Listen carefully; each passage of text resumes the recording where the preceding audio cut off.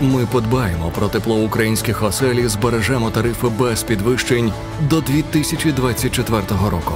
Нафтогаз Україна. Зміцнюємо незалежність. Час новин у марафоні. Для вас працюють інформаційні команди Фактів ICTV та Вікон СТБ. Я Андрій Ковальський. Мої вітання. Кількість постраждалих у Кривому Розі зросла до 32 людей, повідомив міністр внутрішніх справ України Ігор Клименко. Зокрема, троє рятувальників у важкому стані. Загинув поліцейський. Ще шестеро правоохоронців травмовані. Такі наслідки ранкового ракетного удару по центру міста. Росіяни влучили в адмінбудівлю поліції. Зайнялася, зайнялися гаражі.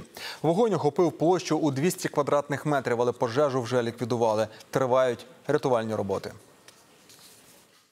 Щодо поранених, кількість е, на превеликий жаль може збільшитись, тому що вибухової хвили пошкодили поряд стоячі будинки, дуже багато вибитих шибок, е, вікон.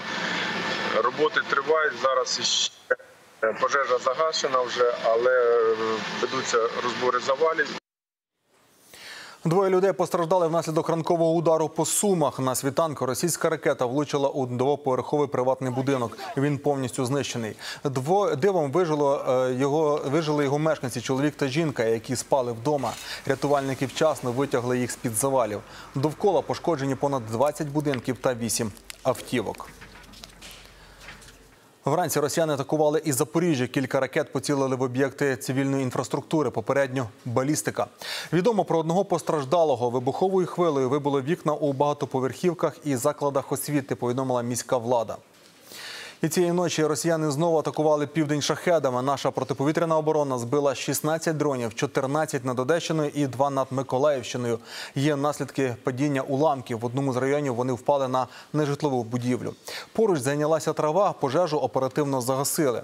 Шахеди росіяни запустили з Приморсько-Ахтарська та мису Чауда у тимчасово окупованому Криму.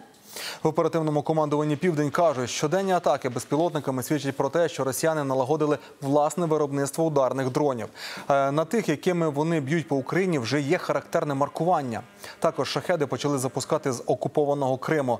Росіяни створили там ще одну базу, аби дрони долали коротший шлях. Вони думають, як обдурити нашу протиповітряну оборону. Тож загроза нових атак залишається. Сімох поранених після ракет російської ракетної атаки по Костянтинівці рятують в одній з Дніпропетровських дніпровських лікарень. Всі вони у вкрай важкому стані. Дві жінки у критичному. У них численні поранення всього тіла. Оперують поранених уже другий день. Їм перелили понад 11 літрів крови. Крові. Попри надскладні мінно-вибухові та осколкові враження, пацієнти кажуть медики мають позитивну динаміку. Сьогодні зранку двох постраждалих зняли з апаратів штучної вентиляції вентиляції легенів. Нагадаю, 6 вересня росіяни вдарили по Костянтинівці на Донеччині. Ракета влучила по ринку. 16 людей загинули, ще 33 поранені. Постраждало все тіло від голови до нижніх кінцівок. В цих людей все перебите. Десятки відламків, відламки не тільки від ракети, а й відламки від будівельних матеріалів, які позалітали в тіло. Важкі поранення, важкі контузії. Не було ніяких шансів ще вчора в трьох, що вони будуть виживати. Але сьогодні йде позитивна тенденція. В Індії вже завтра розпочнеться саміт Великої Двадцятки, форум найвпливовіших економік світу. У столиці Нью-Делі тривають останні приготування. Подробиці знає кореспондентка Голосу Америки Тетяна Ворожко. Вона з нами нині на прямому зв'язку. Тож Тетяно, вітаю. Скажіть, будь ласка, чим особливий нинішній саміт G20? Ну до саміту цього індуса дуже довго готувалася. Можна побачити, що організація на дуже високому рівні, якщо можна так сказати, з елементами розкоші. Дуже багато звертають увагу журналісти портретів е, портретів прем'єра моді і кажуть, що навіть подбали про те, щоб делегатам не заважали а, мавпочки. А більше про це ми можемо розказати, і показати вже в наступних випусках, коли безпосередньо цей саміт вже почнеться. Сьогодні ще триває таке остання підготовка. Перебуває делегації.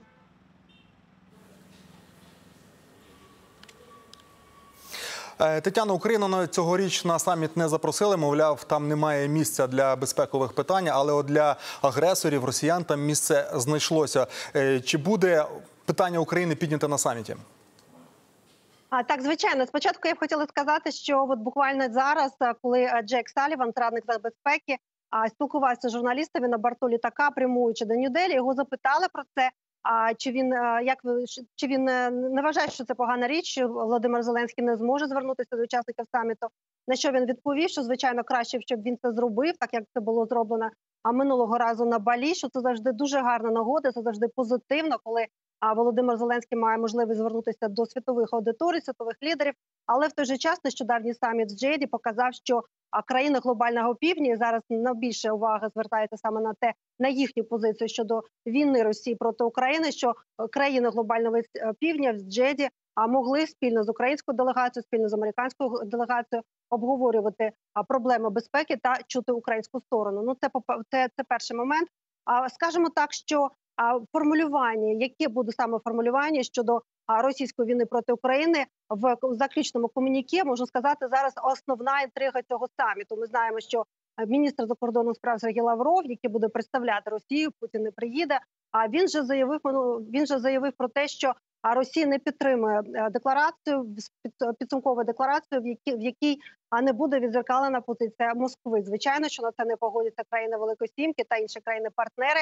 Індія зі свого боку хоче, щоб ця декларація була а, така, від- на яку погодяться всі учасники. Ми пам'ятаємо, що минулого разу на Балі а, було сказано два були, були два пункти про Україну, і було зазначено, що а, більшість країн-учасників їх підтримують. Індія хоче, щоб всі підтримали е, заключну декларацію, яка буде результатом цього саміту. Вони запропонували трохи таку м'яку м'яке формулювання.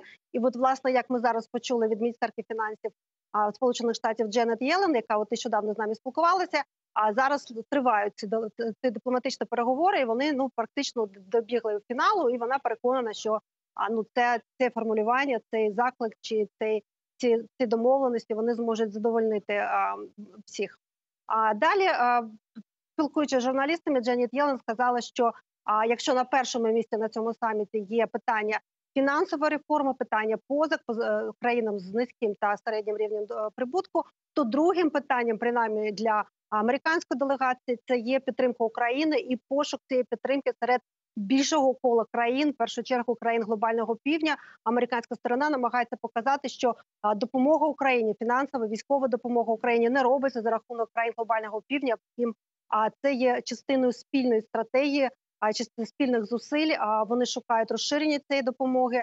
А і так само вони будуть багато говорити про те під час формальних, неформальних зустрічей з іншими делегаціями про те, що от власне війна, а не несправедлива, жорстока війна, як сказала Дженіт Еллін сьогодні, підкресливши це. Вона від неї страждають не лише українці, вона є величезним стресором для глобальної економіки, і саме від цього вони будуть ще раз і ще раз пояснювати. Страждають бідні люди навколо світу, бідна країна навколо світу, які не отримують продуктів харчування через це. А ну і третє, ми були сьогодні під час прес-конференції Дженіт Дженіт Єлен. Ми побачили, що половина питань була присвячена саме Україні, тобто журналісти, яких працює дуже багато, а так само будуть тримати цю тему на порядку денному, включно з нами. Дуже дякую, Тетяно. Це була кореспондентка Голосу Америки Тетяна Ворожко з Індії, де триває підготовка до саміту G20. Чергова словесна перепалка між Москвою та Вашингтоном. Кремль, щоб вкотре звинуватити Сполучені Штати у всіх смертних гріхах, використав повідомлення, що американці передають нам бронебійні снаряди зі збідненим ураном.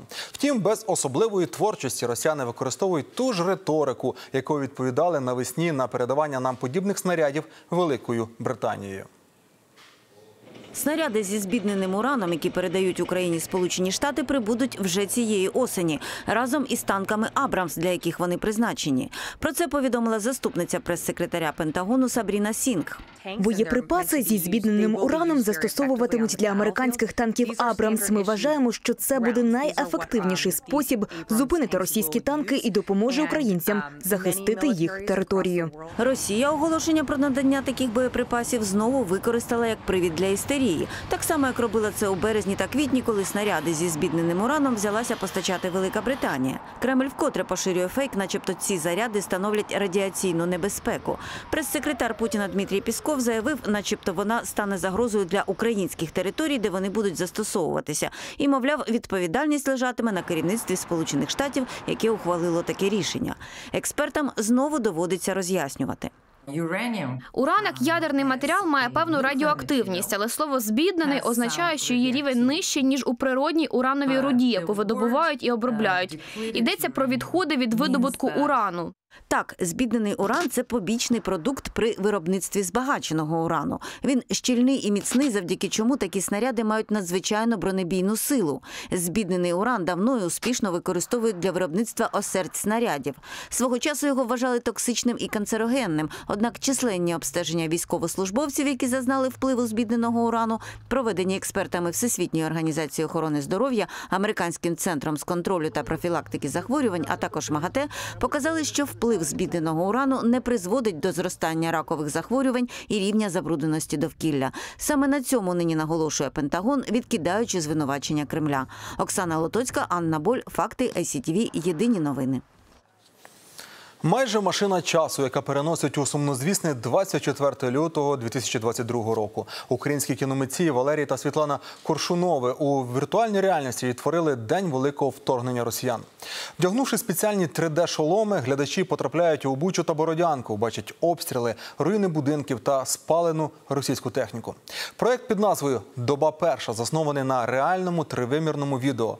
Розповідає Даніл Самсонов.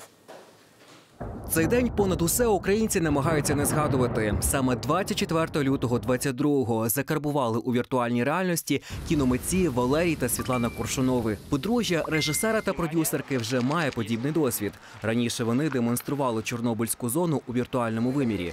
Позаяк це ноу-хау дозволяє опинитися у будь-якому місці. Світлана та Валерій вирішили таким чином покажуть насамперед іноземцям, що наробили росіяни в Україні. Достатньо вдягнути 3D-шолом, і людина на власні очі бачить бойові дії, спалену техніку та руїни будинків Бородянки та Бучі на Київщині.